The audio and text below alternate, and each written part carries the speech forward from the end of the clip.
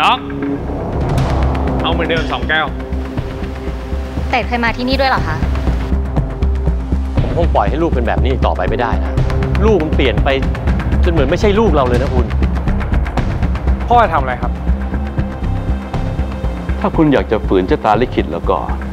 คุณจะมีโอกาสอีก ในคืนที่พระจันทร์สีแดงเท่านั้น จะไปไหนเนี่ย ไปข้างนอกแป๊บนึงเดี๋ยวผมมาแล้วอย่าไปก่อเคืนร่างผ